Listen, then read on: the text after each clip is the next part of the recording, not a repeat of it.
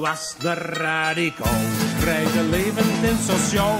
En in zo'n tijd al redelijk populair. En dat betekende zijn kracht, want je kon niet ongestraft tegen de macht en de traditie in het verweer. De boodschap tegen bracht weer achteraf er juist verkracht en er weer een hoop met zeven geslaagd.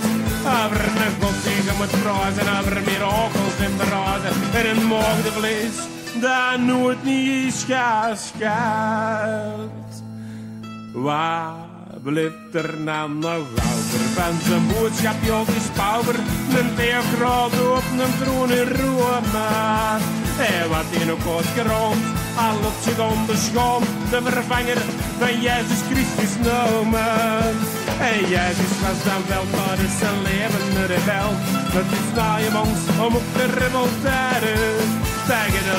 En verzinsels, achter de hartverspinsels. Deze na Passa wordt presenteren.